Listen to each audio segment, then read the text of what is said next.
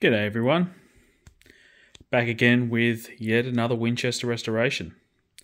This is a 3840, which I've recently restored with a brand new stock in walnut, pistol grip conversion, 3840 octagonal barrel with a full length magazine conversion. Um, I've even, sorry about the shade, I've even uh, made my own little brass top sight there, which I'm just in the middle of uh, finishing off. I'm going to take a little bit more brass off it.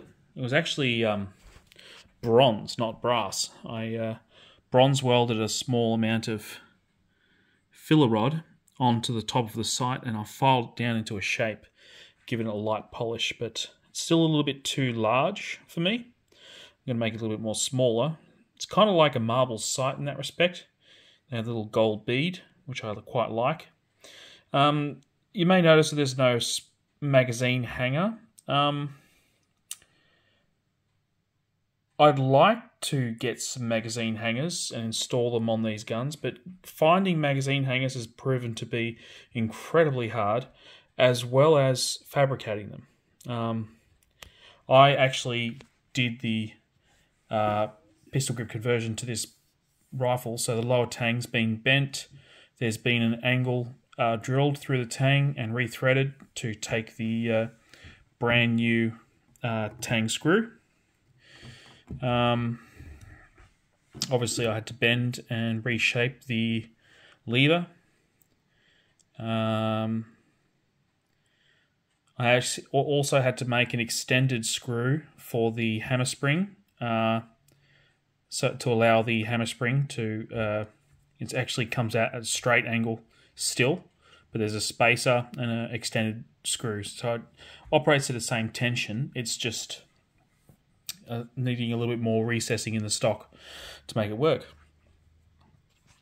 I'm really proud of how it's coming along. Um, there's a little bit of gunk on it because I've um, smeared some oil on it, but um, it's it's turned out really nice. I'm actually looking at potentially trying to install either a peep sight or, if I can get it, a vintage Winchester six or eight times scope. Um, these aren't traditional scopes, they actually mount uh, sometimes through an additional dovetail or sometimes through the original dovetail.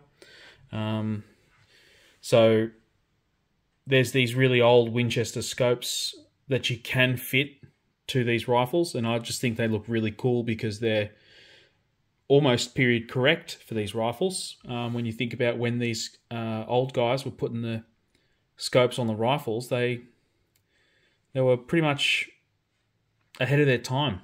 So I thought it would be really nice to have one to to mount onto one of my nicer rifles, and this one is one of my nicer rifles. Uh, I'm still yet to do the checkering. This will have checkering in the original Winchester pattern. So the original Winchester pattern follows a fine edge at the top, then follows roughly the same line as the, the grip. It'll follow the line down to a, a straight corner here and then a rounded edge here, then go up and have a, a V section up here. So that's the original style of the checkering at the grip. And the fore end uh, starts off straight at the top, but then comes down to a point, comes down to a point, uh, and there's straight lines dividing each checkering panel. So it's going to need some careful marking out, but uh, this will get checkering. And um, like I said, hopefully some sort of additional sight because uh, I think this is you know this this rifle's by no means original originally this rifle was a uh, half mag uh, straight grip in 3840. So the changes I've made are, are, not original, and almost all the parts, including the uh, end cap here, uh, the end cap screw, which I haven't haven't quite taken off enough to get it flush yet, but that's easy. I just have to remove a bit of the screw and uh, screw it in deeper. Once I do that, it will be at the correct depth. Um, so almost all these parts I've had to fabricate. Um, a lot of them, the screws for the for the pistol grip conversion, the uh, the magazine conversion, a lot of stuff I've had to fabricate. Um, and yeah, no, I, I try and make it as close as I can to original, so it's hard to pick. But yeah, uh, hopefully I'll be uh, doing a video of shooting this one at the range soon. So stay tuned for the next one.